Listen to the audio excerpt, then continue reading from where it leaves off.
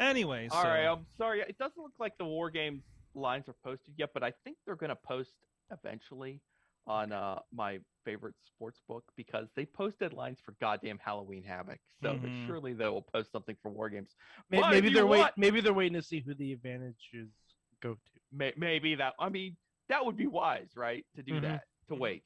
Uh, but I can give you some odds on uh, who's going to get killed in Scream Five if you're interested. in that. Oh, oh, now this one- is the content I'm here for.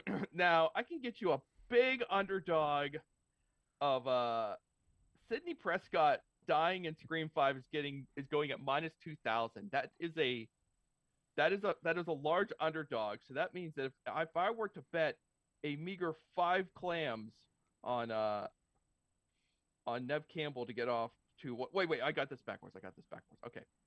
I, I got this backwards. Okay.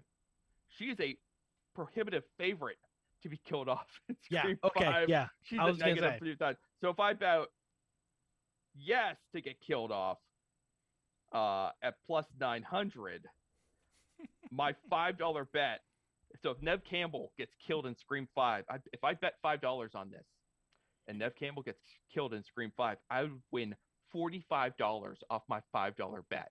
hmm. Wow. So huge underdog to Mhm.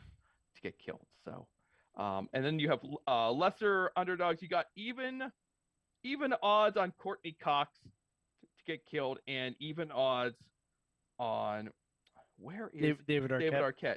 Oh, actually, David Arquette is a slight underdog on the no side. okay. David Arquette not dying.